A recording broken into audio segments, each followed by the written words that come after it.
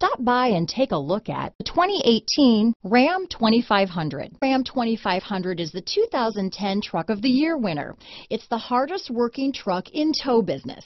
This vehicle has less than 65,000 miles. Here are some of this vehicle's great options. Traction control, Bluetooth, dual airbags, power steering, front and rear floor mats, four-wheel disc brakes, power windows, electronic stability control, Sirius satellite radio, brake assist, off-road package, tachometer, remote keyless entry, overhead console, power mirrors, tilt steering wheel, rear view camera, speed control, radio data system. Searching for a dependable vehicle that looks great too?